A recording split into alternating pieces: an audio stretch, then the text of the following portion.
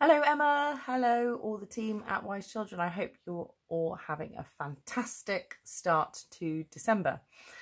Um, this is Helena Payne, the creative director of Pleasure Dome Theatre Company, and this is my application for the mentoring.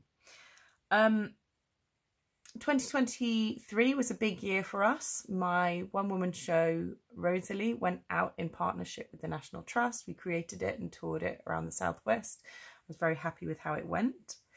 Um, we had another production, an all female uh, new adaptation of Treasure Island at the Valley of Rocks, which was totally joyful and very charming. And then we worked um, and creatively led on A Christmas Carol, which I co wrote um, at the Taunton Brewhouse. And it was very challenging if I'm going to distill, there are lots of things that were difficult, but if I'm going to distill exactly um, where I think it became most challenging, it was upscaling what we do and what we're good at, um, whilst remaining true uh, to our creative and fundamental values, if I'm going to be honest.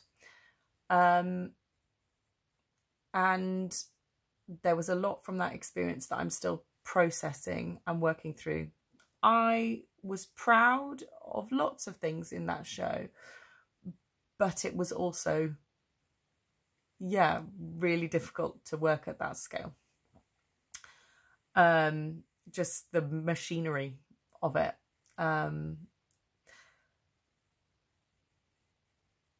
for 2024, if I'm going to be honest, I didn't really want to produce that much or um, I toured as an actor over the summer with another company, Wassail Theatre, which was lovely. I love working with them.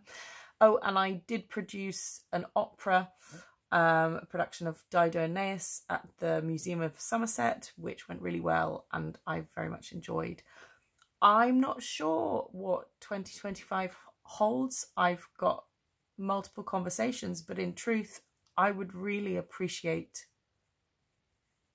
some mentoring and some support um, as to how we make this take these next few steps because I think it will have uh, a significant impact as to you know what the future of of Pleasure Dome looks like.